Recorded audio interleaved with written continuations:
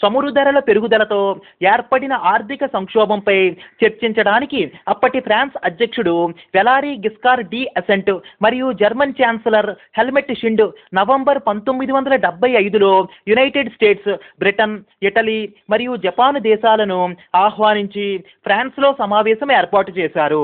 తర్వాత ఇంకో సభ్యదేశమైన Canada హాజరుతో June పంతొమ్మిది వందల డెబ్బై ఆరులో పోర్టారికాలో ఏర్పాటు చేసిన సమావేశంలో జీ సెవెన్ గ్రూప్ ఆఫ్ సెవెన్ను అధికారికముగా ఏర్పాటు చేశారు. జీ సెవెన్ ఆర్థికాభివృద్ధి నిరుద్యోగం వాణిజ్య సంబంధమైన సమస్యలు మరియు అభివృద్ధి చెందుతున్న దేశాలు ఎదుర్కొంటున్న సమస్యలను చర్చించడానికి అంతర్జాతీయ వేదిక అయ్యింది. తరువాత రాజకీయ సమస్యలను చర్చించడానికి కూడా వేదికగా మారింది. పంతొమ్మిది వందల తొంభై ఏడులో ఏర్పాటు చేసిన సమావేశంలో రష్యా చేరికతో జీ సెవెన్ పేరును జీ ఎయిట్గా మార్చారు. దీని సభ్య దేశాలు Canada France Germany Italy Japan Russia Britain United States of America